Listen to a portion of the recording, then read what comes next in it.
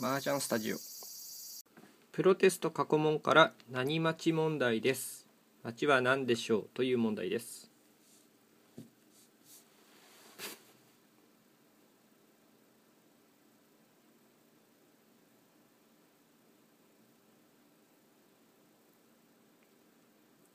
回答は相図の1から8全部です。1234567です。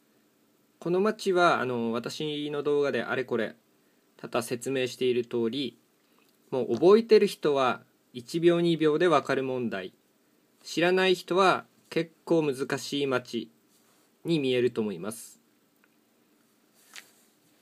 このあんこに挟まれたのべたん。これは端から端まで全部当たります。あんこに挟まれたのべたん。とりあえず全部1から端から端は全部論と。どう分かれるのっていうのはまあ自分でその論って言った後に、えー、検証すればいいと思います。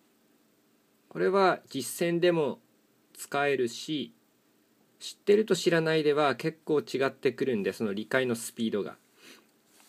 数学の方程式みたいに覚えておいた方がいいと思います。あんこに挟まれたのべたんは端から端まで当たる。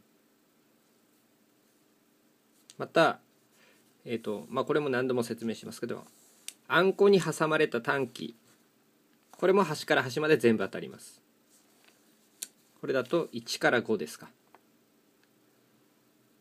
あんこに挟まれた短期とあんこに挟まれたのべったん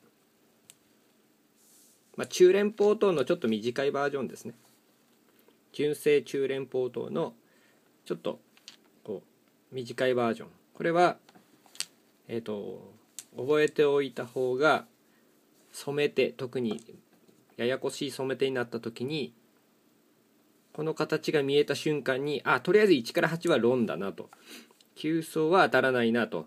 そんな風にあの理解が早くなります。実際は手とか周りの捨て牌見ながら打つんでとりあえず論と言ってから考えるということにも役に立ちます。